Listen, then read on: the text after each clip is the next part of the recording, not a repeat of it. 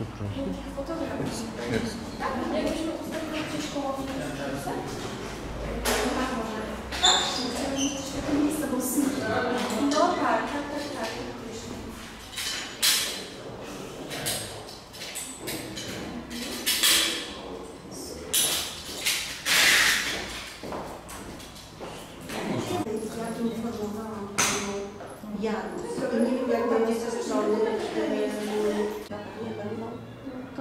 Jedyne interesujące z całego tego. No to cieszę się. z całego, bo kiedyś chodziłam na Uniwersytet Otwarty tam przy uczelni, ale niestety zlikwidowali. Tam były też ambitne te Chwilę,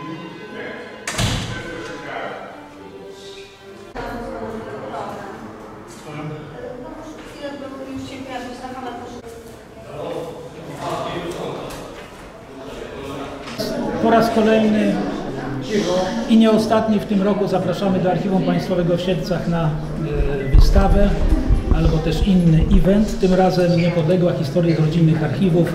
Wystawa e, w ramach programu e, Niepodległa ogólnopolskiego, przygotowana przez panią Beatę Troć, która za chwilę tutaj przed nami wystąpi.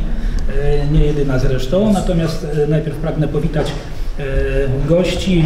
Jest z nami pani profesor Beata e, Walenciuk-Dejneka, e, e, dziekan Wydziału Historycznego Uniwersytetu Przyrodniczo-Humanistycznego w Siedlcach. Co ja mówię? Humani Historycznego. Tak jest. Do już niedługo uniwersytetu, więc nie będzie problemu. Bez, bezprzymiotnikowego. E, Witam księdza prałata Bernarda Błońskiego, dyrektora Archiwum Diecezjalnego w Siedlcach. Jest z nami także dr Rafał Dmowski, dyrektor Archiwum Uniwersytetu Przyrodniczego w Siedlcach, ale oraz także witam doktora Franciszka Gryciuka, byłego prezesa IPN-u, a obecnie już historyka, ale także pełnił inne funkcje na e, uniwersytecie. E, Jest z nami także e, Tadeusz Goc, reprezentujący także uczelnię, klub Limes. Dalej witam e, tutaj szczególnie gorąco e, delegację z zaprzyjaźnionego i pobliskiego e, liceum imienia Hetmana Żółkiewskiego. Jest z nami dyktor, dr Witold Bobryk i, i pan Janusz Wilczyński, nauczyciele historii, ale także Kamila Wawryniuk i Emilia Barycka, które przedstawią nam tutaj krótki program artystyczny. Witam dziennikarzy reprezentujących nasze e, siedleckie e, media. E, Także witam tych, dzięki którym ta wystawa powstała, bowiem jest z nami pani Hanna Rumak, która przekazała materiały z do naszego archiwum, a lwia część wystawy właśnie poświęcona jest tej zasłużonej dla Siedlec i nie tylko Siedlec, dla regionu, a dla, także dla Polski, można powiedzieć, rodzinie.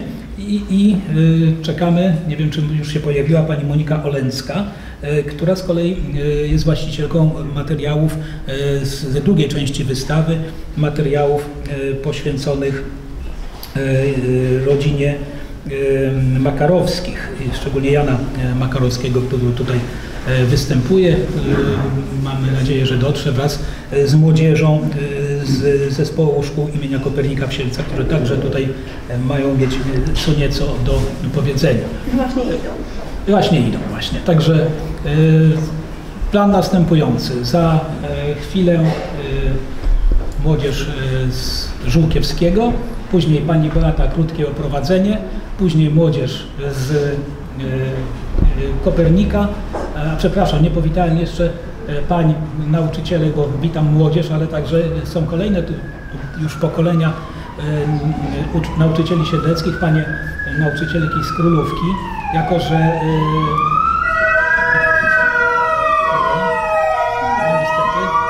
pa- panie zbudzkie, które panie zbudzkie, które uczyły Jadwiga i Natalia uczyły w siedleckich szkołach, szczególnie były tutaj zasłużone dla liceum imienia Królowej Jadwigi, wówczas, dzisiaj już świętej Królowej Jadwigi.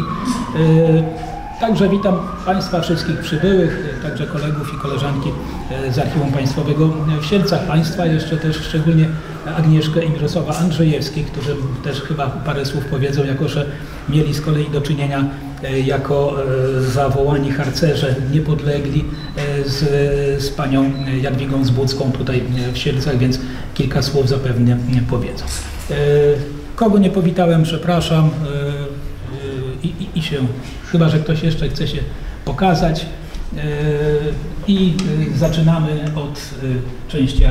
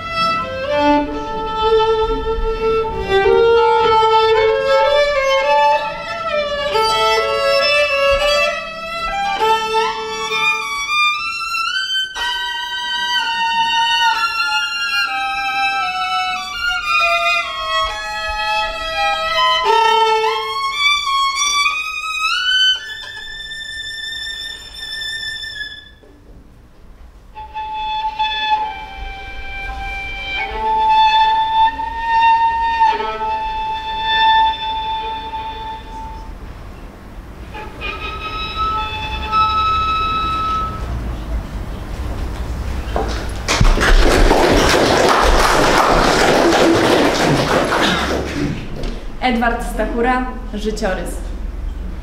Urodziłem się 18 sierpnia 1937 roku we Francji. Dzieciństwo miałem piękne i spokojne. Kiedy miałem 7 lat, śniło mi się, że posiadam zdolność lotu. W tym czasie zacząłem uczęszczać do francuskiej szkoły elementarnej, gdzie sny zaczęły się zmieniać jak nowe obrazy w fotoplastykonie. Drugą wojnę światową pamiętam tylko ze smaku czekolady, jaką obdarowywali nas Amerykanie. O, pamiętam jeszcze pająka na, na suficie piwnicy, w której musieliśmy się ukrywać przez dwa tygodnie. Kiedy miałem 11 lat, rodzice doszli do wniosku, że należy opuścić słodką Francję i udać się do jeszcze słodszej Polski. Nie rozumiałem jeszcze wtedy słowa nostalgia. Teraz dopiero rozumiem, ileż smutku się w nim kryje. Z opowiadań i książek słyszałem dużo o wilkach wędrujących po Polsce. W 1948 roku przyjechaliśmy do Polski. Nie widziałem nigdzie wilków, ale nie mogłem się spodziewać, że tak małe będzie moje rozczarowanie. Osiedliliśmy się w ponurym miasteczku w Aleksandrowie Kujawskim. Było to kiedyś ponure miasteczko, słynące szeroko z przemytu. Tutaj skończyłem szkołę podstawową, ponieważ wykazywałem wysokie zdolności, oddano mnie do gimnazjum w Cichocinku, żeby uczynić ze mnie inżyniera lub doktora. Po trzech latach przeniosłem się do liceum ogólnokształcącego w Gdyni, które skończyłem i gdzie do tej pory jestem otoczony legendą, gdzie przeczytałem w tamtejszej gazetce szkolnej. Jeden rok, to znaczy 1956, włóczyłem się po Polsce, napotykając wszędzie ślady wilków, a nigdy ich samych. Potem zacząłem studiować filologię francuską na Kulu, gdzie doskonała dobroć kilku osób wzruszyła mnie do głębi. Studia skończyłem przede wszystkim z własnej winy. A może dzięki wierności tradycjom?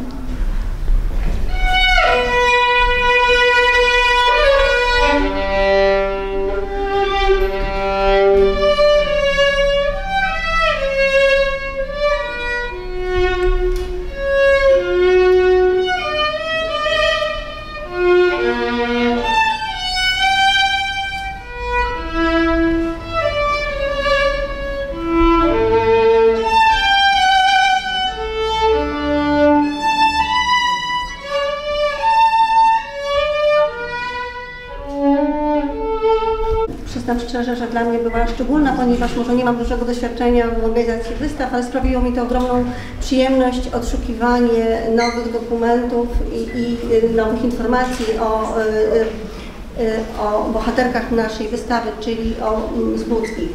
Ym, Głównymi bohaterkami tejże wystawy są Natalia i Jadwiga Zbódzkie i w ogóle generalnie rodzina Zbódzkich, która niewątpliwie ma tutaj odcisnęła swoje piętno w historii miasta Siedlce poprzez fakt, iż wiele osób pamięta Panie Zbódzkie. Miałam przyjemność rozmawiania z kilkoma osobami, które jeszcze Panią Zbódzkie pamiętają i zawsze te anegdoty się pojawiają y, we wspomnieniach. Y, Natalia y, Jadwiga Zbódzka uczyła w liceum i gimnazjum imienia Królowej Jadwigi, uczyła e, przedmiotu matematyka, chemia i fizyka. Uczy, urodziła się w 1899 roku, była córką Ignacego Zbódzkiego i Olgi Aleksandry z Szeferów. Rodzina Szeferów była to wyznania ewangelickiego, natomiast mm, tak jakby wchodząc za mąż, y, pozostała, przeszła na wyznanie rzymskokatolickie. Y, Zbódcy mieli sześcioro dzieci, czyli trzy córki i trzech synów. Jeden z nich, y, Leopold, y, najstarszy, tutaj jedna wystawa poświęcona jest właśnie tej osobie, był aktorem dramatycznym, y, który występował na różnych scenach, y, tutaj między innymi y, teatrów w Łodzi, w Warszawie, w Krakowie, w Kaliszu, w Płocku. Bardzo charakterystyczny aktor, y, który jak określano grał bardzo naturalnie i oddawał całą swoją osobowością y, rolę, y, którą odgrywał. Wracając do Natalii i do Jadwigi Zbódzkiej. Y, Tutaj pierwsza wystawa, może przejdźmy tak króciutko. Przy ulicy Starowiejskiej. W 1914 roku przybyli tutaj do Siedlec, gdzie właśnie zakupili y, mieszkanie przy ulicy Starowiejskiej. Y, Jadwiga Zbódzka kontynuowała, y, bo czas dzieciństwa spędziła w Warszawie, ale tutaj kontynuowała naukę y, w Żeńskim Gimnazjum Filologicznym Konstancji Cebruskiej w Siedlcach, które mieściło się przy ulicy Ogrodowej. E, Następnie zdała egzamin dojrzałości w 1921 roku i zdała na Uniwersytet Warszawski na e, kierunek e, matematyczno-fizyczny. I aby zarobić tutaj, ponieważ sytuacja była dosyć trudna finansowa, więc aby zarobić na utrzymanie swoje, pracowała, podjęła pracę w wielu placówkach oświatowych. Było ich kilkanaście. W okresie okupacji uczyła z Natalią Raszcem em, w ramach tajnego nauczania.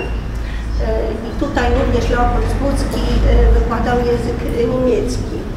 E, Jeśli chodzi o tajne nauczanie w Siedlcach, to Natalia, e, to Jadwiga i Natalia Zbódzkie podejmowały naukę dla młodzieży w ramach tajnego nauczania od 1942 roku, od września do czerwca 1944.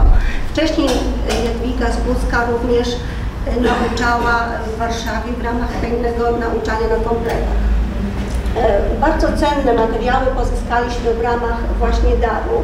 E, Do tej pory mieliśmy już e, kilka jednostek e, dotyczących spuścizny zbódzkich, natomiast te, które otrzymaliśmy, tak jakby pokazały bogactwo i historię całą tej rodziny. Pojawiają się tutaj nam mm, tacy nauczyciele i ten okres, kiedy ona uczęszczała do Gimnazjum Żeńskiego imienia Konstancji Zembrzuskiej w Siedlcach, między innymi z lat właśnie tych gimnazjalnych, przedmaturalnych i tutaj właśnie jest Pan e, Asłanowicz, także e, zdjęcia dosyć interesujące, pokazujące też i kadrę pedagogiczną e, tego czasu. Tutaj mamy takie zdjęcie, które jest wiodące, to właśnie Jadwiga e, z matką Olgą Aleksandrą z Szeferów w okresie maturalnym. Jeżeli chodzi o Natalię Zbudzką, to ona uczyła w y, obecnym y, w liceum imienia Henryka y, Hetmana Żółkiewskiego i też zachowało się kilka zdjęć, które właśnie przybliżają nam tę postać. Całym tym zbiorze, który otrzymaliśmy od, w ramach daru od y, darczyńcy, od Pani tutaj, która zechciała nam przekazać te materiały, pojawiają się bardzo ciekawe dokumenty, które pozwalają na dalszą kontynuację poszukiwań związanych z historią tej rodziny.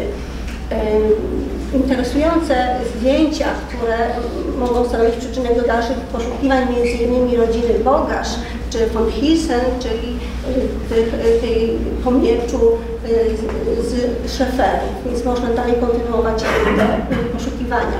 Wspomniałam o tym, że zbódcy mieli sześcioro dzieci, trzy córki i trzech synów, więc jeden to był Leopold, ten aktor dramatyczny teatru, teatrów w Polsce, gdzie był bardzo cenionym aktorem i, i bardzo chętnie grywał.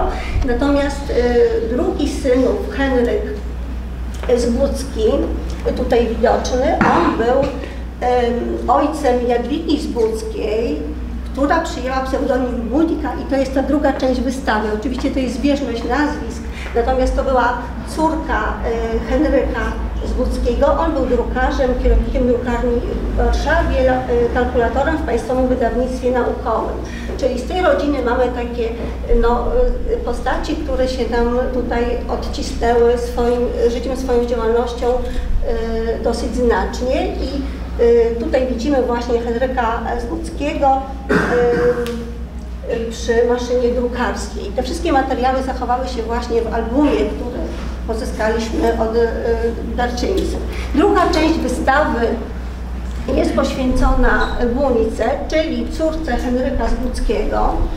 E, e, Jadwiga Zbudzka-Buńka urodziła się w 1924 roku. Była harcerką Szarych Szeregów i tutaj e, bardzo cenne materiały udało mi się odnaleźć w Fundacji imienia generał e, Zawadzkiej w Toruniu oraz Muzeum Harcerstwa. Poszukiwałam również Muzeum Powstania Warszawskiego. E, Zmarła w 1948 roku w wieku 23 lat na gruźlicę, ale jest bardzo interesująca poprzez y, fakt y, swojej takiej dojrzałości y, y, w czasach y, wobec sytuacji, której została po- m, postawiona, czyli mając zaledwie kilkanaście już lat, y, mm, zaangażowała się w działalność Szarych Szeregów. I tutaj mając do wyboru wyjazd y, z rodzicami do Łodzi, powróciła do walczącej Warszawy i walczyła y, w, y, tutaj aktywnie w szarych szeregach. Y, Zachowały się właśnie wspomnienia innych harcerek, y, które znały ją i tutaj właśnie dotarłam do wspomnień Marii Werner z Muzeum Harcerstwa, gdzie opisuje Buńkę, bo y, razem z nią służyła. I tutaj również w zbiorach Fundacji Generał Zawadzkiej w Toruniu fragment relacji Józefy Kamionko dotyczącej Jadwigi Zbódzkiej Buńki.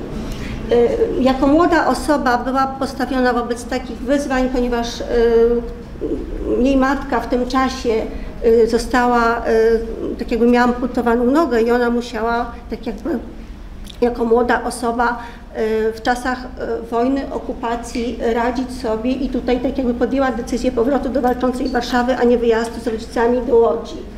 Zachował się pamiętnik z Powstania Warszawskiego, e, w którym relacjonuje od 1 sierpnia działania e, w okupowanej e, Warszawie i on jest dostępny na stronie internetowej, bo niestety nie dotarłam do niego fizycznie, tak jakby nie jest wiadomo, gdzie on w tej chwili jest, ale jest opublikowany, więc te wydarzenia do 5 października są y, kolejno y, wydarzenia opisane i, i, dostępne.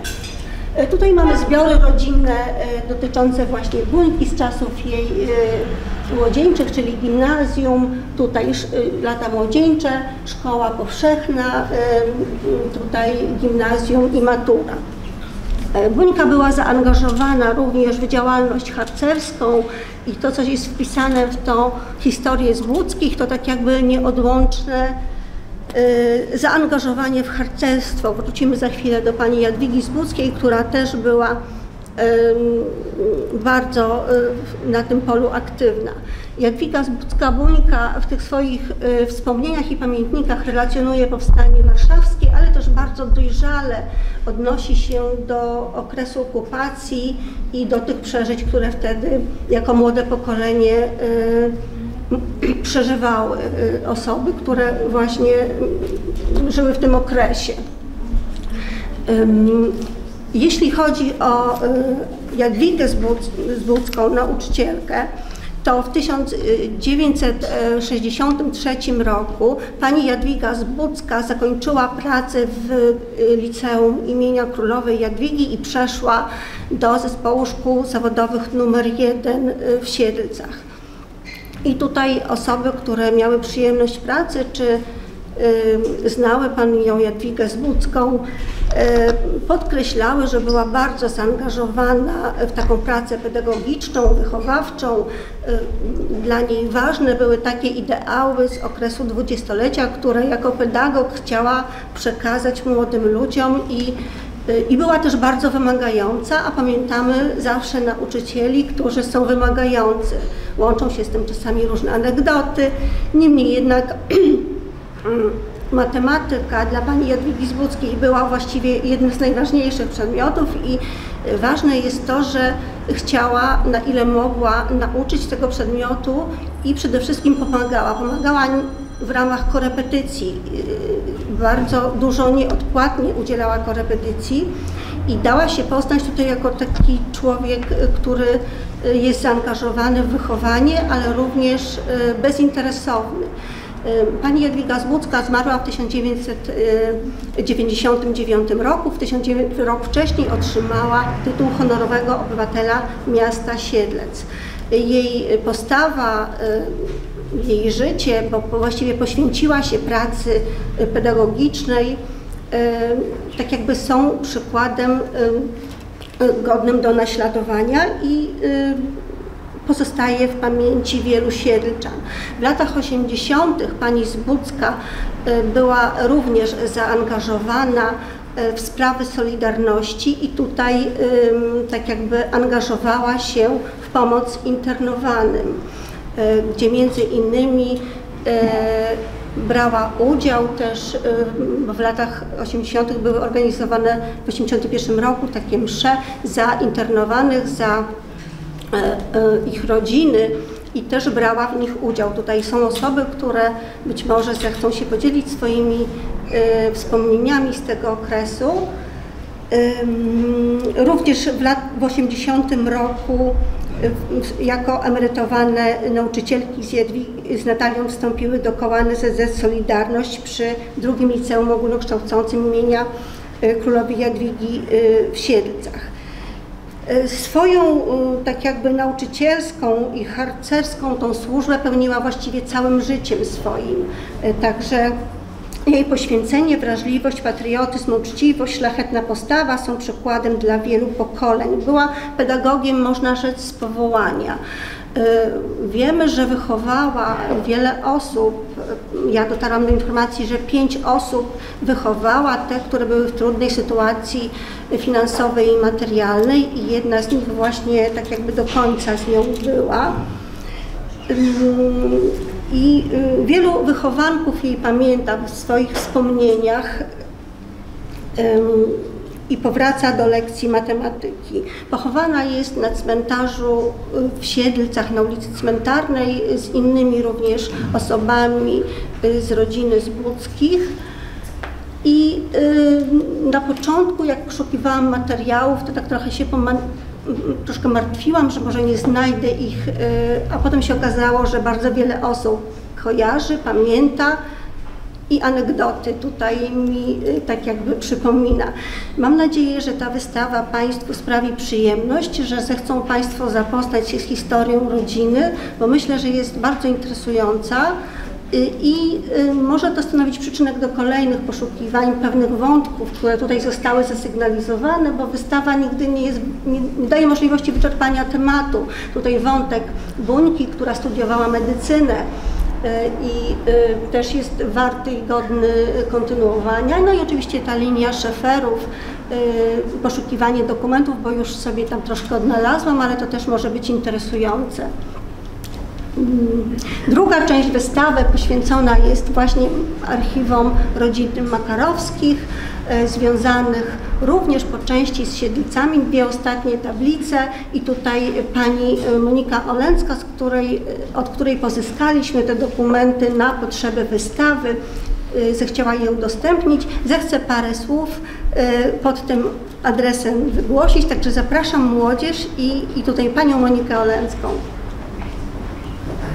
Tak, jak tylko króciutko powiem em, o moim dziadku. E, Historie i miejsca ludzi można poznawać przez korespondencję, przez pamiętniki. I właśnie e, to samo tutaj dzieje się w przypadku Jana Makarowskiego. E, Urodził się w 1926 roku w Woźnikach koło Łosic i w 1929, czyli mając 3 latka, przybył do Siedlec z rodzicami i stał się siedlczaninem. Ukończył liceum ogólnokształcące, także kochał dzieci, kochał wnuki swoje, ale również e, udzielał się w harcerstwie. E, Jan Makarowski pisał e, pamiętniki życiowe, dziennik duchowy, jak również modlitewne zapiski i pieśni religijne. I właśnie na tej podstawie przygotowuje taką pracę językoznawczą pod kierunkiem właśnie tutaj naszego uniwersytetu, ale młodzież zaprezentuje fragmenty z pamiętnika Jana Makarowskiego. Także zapraszam. Która jest podobna do siedleckiej, rozbieramy tory i ładujemy szyny na wagony, bo Niemcy zamierzają wycofa- się wycofać. Na peronie dworca leżało pełno odłamków z pocisków. Domy poburzono, nie ma ży- żywej duszy w mieście. Smutny to był widok. Pola zaminowane. Gdzie są miny, tam stoi tyczka. Ostrzeżono nas, aby tam nie chodzić. Było tych min setki w różnych miejscach rozstawione. Jednego razu działa rosyjskie ostrzelały nasz teren, strzelały z takich pocisków, co nad ziemią się rozrywały, ale nikogo z nas nie zabiły. 13 lipca 1944 rok. Już od kilku dni widać zwiększone na jezdni furgonkami i samochodami cofających się Niemców. Dziś widziałem Węgrów, którzy się tak samo cofali. Ubrania mieli podobne do naszych, tylko trochę ciemniejsze. 24 lipca 1944 roku. Wczesnym wieczorem przyleciały ruskie samoloty nad Siedlce. Po oświetleniu lampami spadochrony zrzuciły parę bomb.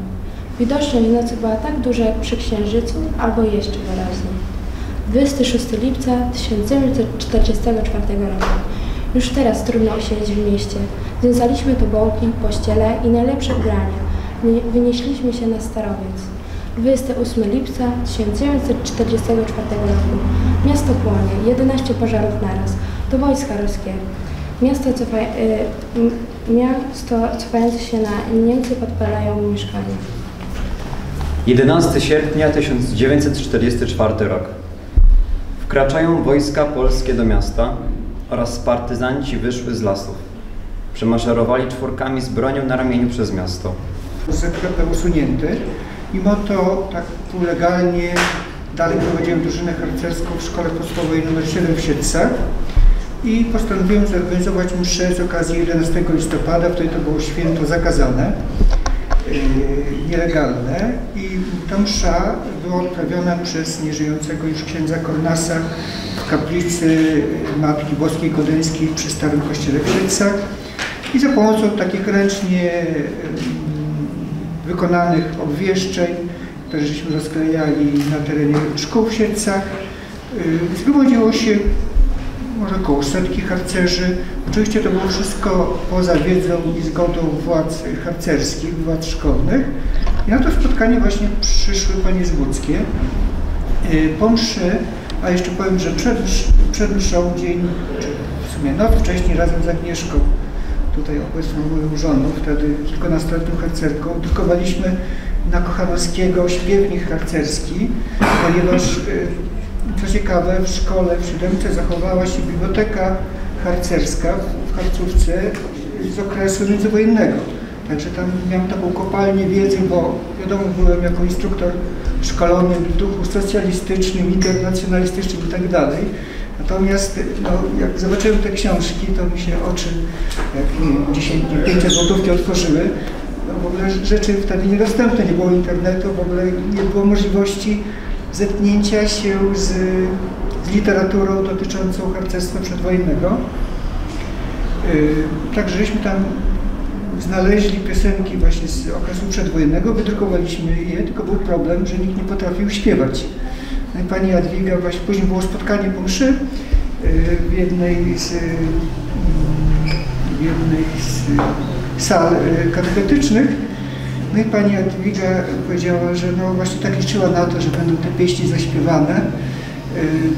No i to był też pretekst do tego, muszę powiedzieć, że my nie znamy tych piosenek. No to ona powiedziała, bardzo chętnie was nauczę, przyjdźcie do mnie, tam mam w domu pianino, także będziemy śpiewać, a niestety do śpiewania tak się średnio to za dużo powiedziane, w ogóle się nie nadaje, ale to część z osób, tam harcerzy oczywiście zaczęła przychodzić i zbiórki zaczęły się odbywać u, w mieszkaniu u pani Zbuckich.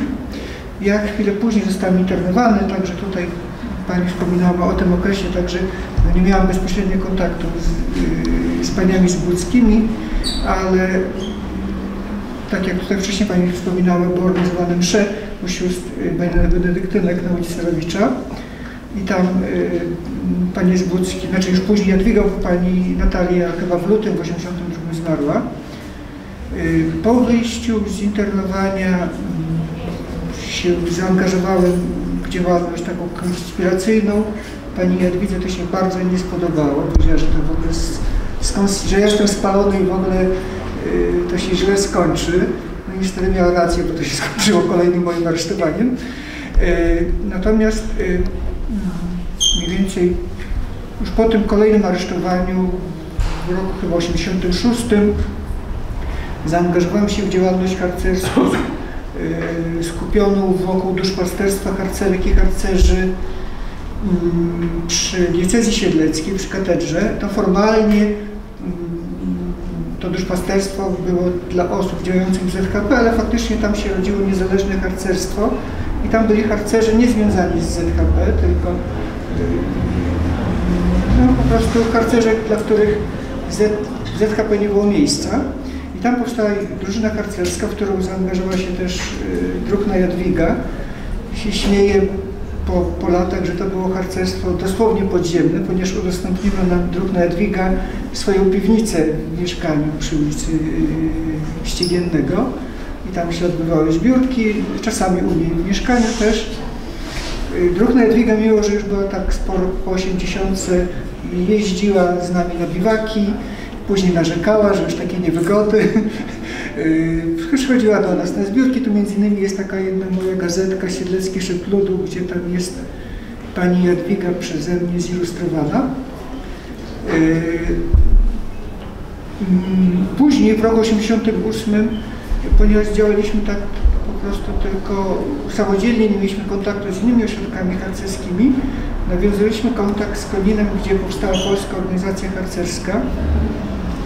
I dzięki między innymi też y, staraniom Druhny Zbudzkiej postanowiliśmy przystąpić do tej organizacji. Była to organizacja wtedy jeszcze też nielegalna, zwalczana przez, przez ówczesne władze komunistyczne.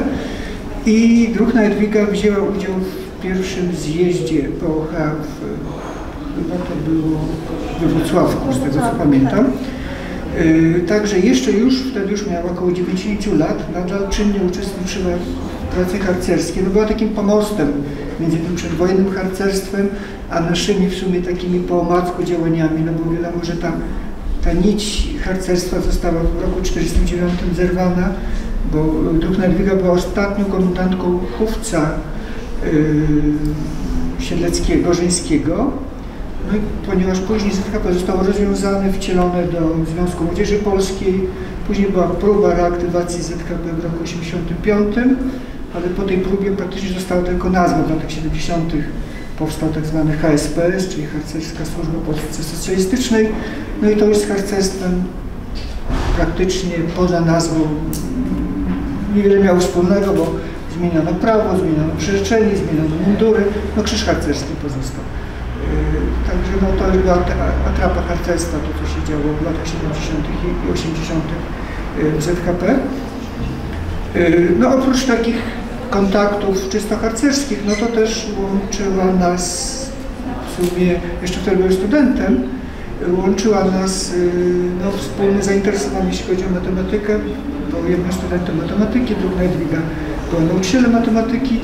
Też oczywiście bywaliśmy tam na spotkaniach u drugiej Jadwigi takich towarzyskich, imieninach, później po ślubie mieliśmy dzieci, także zapraszała nas z dziećmi na takie spotkanie specjalnie dla dzieci, gdzie tam było masę słodyczy. Yy, Również był zapraszany ksiądz biskup z Ostrowsko-Morucha. Yy, Także utrzymaliśmy kontakt praktycznie do yy, ostatnich dni Królnej Jadwigi. A do tej pory w spadku mam kilka książek matematycznych jeszcze z okresu przedwojennego. To, to tyle tak w skrócie. Dziękuję.